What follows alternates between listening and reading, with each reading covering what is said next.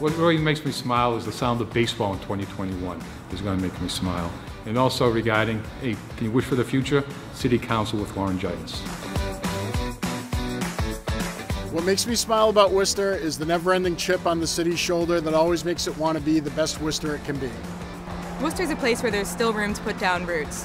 What makes me smile is the number of times and ways I've been able to work with people toward a common goal. That and waving at Orson on 290. Worcester's the kind of city where you can live, learn, grow, raise a family, start a business, and that makes me smile.